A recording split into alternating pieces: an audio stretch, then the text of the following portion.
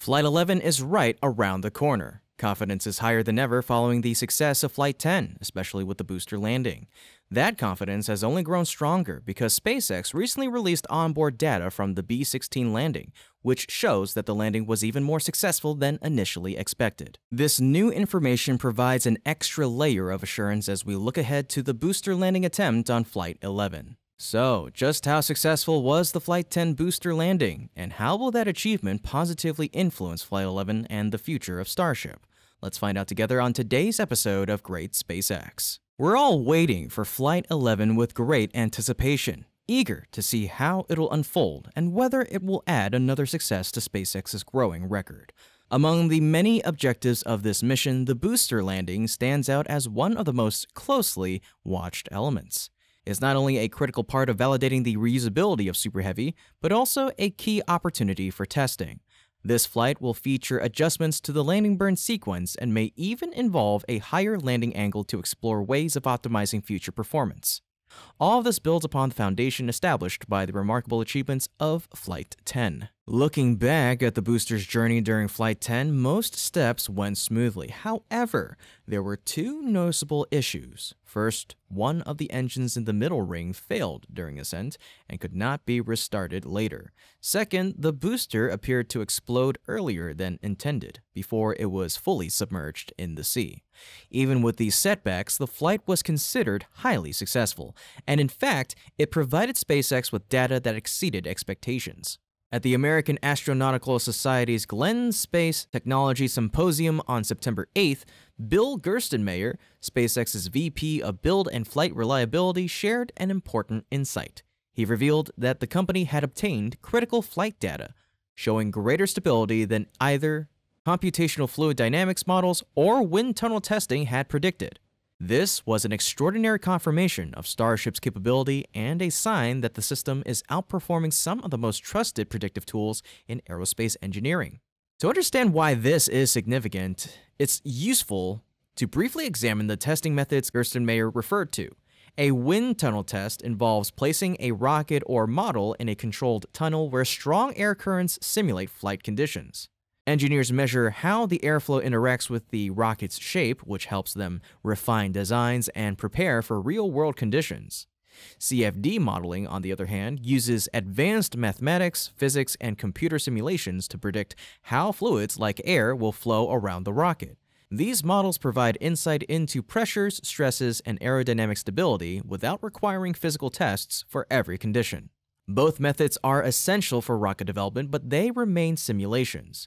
They can't fully replicate real-world conditions, although they can come close. This is why real flight data is so valuable. Flight 10 proved that Starship's stability in actual flight exceeded even the most optimistic results predicted by wind tunnel tests and CFD models. This breakthrough is one of the hidden victories of Flight 10. While viewers could only watch the rocket rise and land, SpaceX engineers were gathering invaluable data about aerodynamics, stability, and structural performance. Much of this information is still being analyzed, particularly factors like angle of attack, controllability, and how aerodynamic forces shift during ascent and descent. As new details are released, they will serve as the foundation for improvements in upcoming missions.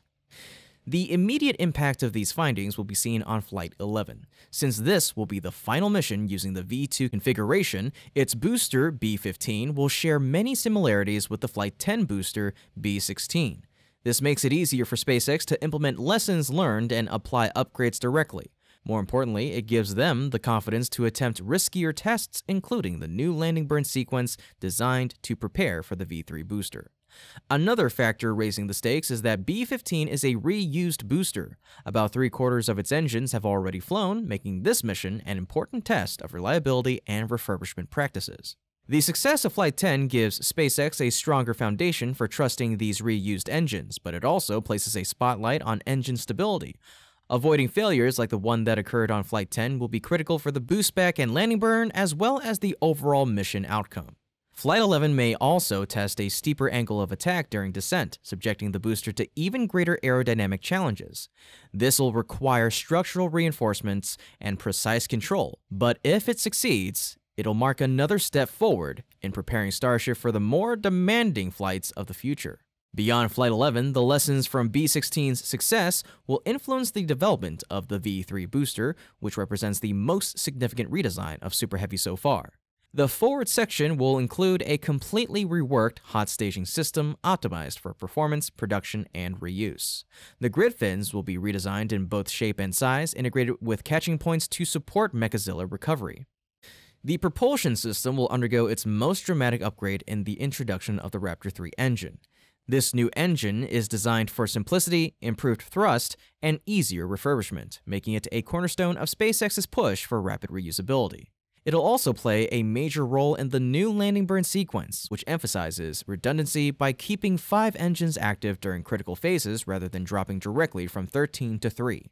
Internal improvements will support these external changes. For example, the V3 booster will feature a redesigned fuel transfer tube, similar in size to Falcon 9's, to better support the demands of Raptor 3. With these upgrades, the V3 system is expected to deliver payloads of up to 100 tons into orbit as early as next year, all while maintaining the goal of full reusability. Flight 10's data has therefore given SpaceX the confidence to accelerate these changes. The fact that the booster demonstrated greater than expected stability suggests that the V3 booster can safely push beyond the limits that were initially predicted. Of course, technical success is only half the story. SpaceX must also focus on speed. Musk has repeatedly highlighted the importance of rapid production and reuse. He has spoken about launching up to 10 Starship tankers per day during Mars campaigns, reflying super heavy boosters every hour, and launching Starships daily, and achieving these ambitious goals requires not only successful flights but also a production and testing system that can keep pace. That said, at the moment, speed remains a challenge. B-18 has been in line for stacking since May, but construction has only recently been completed, and it hasn't yet rolled out for testing. On the ship side, S-39 has not been stacked, and testing has faced delays. This slowdown raises concerns about meeting the launch cadence required for orbital refueling and eventually Mars missions. To overcome this, SpaceX needs to accelerate every part of the process. Production must operate at full capacity, and new assembly bays must be completed and brought online. Testing infrastructure, which has faced setbacks due to incidents like the S-36 explosion, must be upgraded for V3 requirements and ready for immediate use. Launch sites must also expand, with Pad 2 becoming operational soon to support static fire testing and upcoming V3 launches. These steps are not optional. The timeline for critical missions is closing in quickly. By late 2026, SpaceX is expected to conduct an uncrewed lunar landing demonstration in preparation for Artemis 3. That leaves only a short window in the second half of 2025 and throughout 2026 to refine Starship's design, as well as perfect reusability and build the launch frequency needed for such ambitious goals. So the question now is this can the breakthrough data from Flight 10 open the door to even greater successes with Flight 11 and the V3 booster? We will only know once the rocket lifts off, but for now, the outlook is brighter than ever. And with success already proven, the focus now turns to speed. Starship must not only succeed, it must fly often, be recovered quickly, and be turned around at a pace that matches SpaceX's long term ambitions. A handful of successful missions is not enough. The system's purpose depends on rapid production, frequent launches, and unprecedented reuse. Next year, SpaceX faces the enormous challenge of in orbit refilling. To fuel a single ship for deep space missions, 8 to 10 tanker launches may be required. Musk had repeatedly driven home the need for scale, describing a future where Starship could fly daily and super heavy hourly. These goals may sound extraordinary, yet they outline the cadence necessary for Mars and beyond. Reality, however, is lagging behind. Earlier Starship versions never reached a consistent flight rhythm, and the burden now falls on the V3 generation. Production tells the story. B-18 was stacked months ago, but remains incomplete, and testing has yet to begin. S-39 faces even greater delays, with no rollout in sight. Together, these setbacks slow preparations for the first V3 flight and threaten the overall launch cadence for the year. This is why the coming months are pivotal. Production must accelerate immediately, with assembly bays running continuously and new facilities brought online without delay. Testing capacity already strained since the S-36 incident must be restored and expanded to handle V3 hardware. On the launch side, Pad 2 is critical. It must support static fires and full missions, ensuring that the first V3 flight can still debut before the year's end. Starship has proven it can fly, Now it must prove it can do so often, reliably, and with the utmost haste. With just over a year until humanity's next giant leaps, the pressure is immense. Success will depend not just on engineering breakthroughs, but on building an operation that moves with relentless urgency.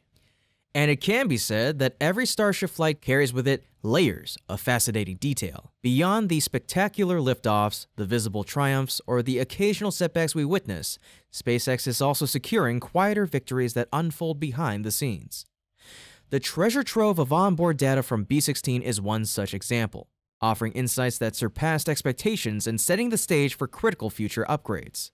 The true challenge now is how to optimize those hidden successes and transform them into even greater milestones. That is the central question, and the answer may soon come with the highly anticipated Flight 11, as well as the groundbreaking V3 missions that'll follow. These upcoming flights will not only test new systems, but also demonstrate whether the lessons from earlier attempts can be turned into a consistent and reliable path forward. Of course, this is still only the beginning of Starship's long journey toward the era of becoming a truly multiplanetary system. Many challenges remain and countless barriers still need to be broken. The scale of what SpaceX is attempting is unlike anything experienced before in the history of spaceflight. Each step forward will be more ambitious, more complex, and more demanding than the last. So now all we can do is wait and watch with anticipation. The next chapters in the Starship story are about to unfold, and they will reveal just how far SpaceX can push the boundaries of exploration. In any case, folks, this has been Kevin with Great SpaceX. Don't forget to like the video and subscribe if you haven't already to stay up to date with yours truly on the latest milestones in SpaceX's journey.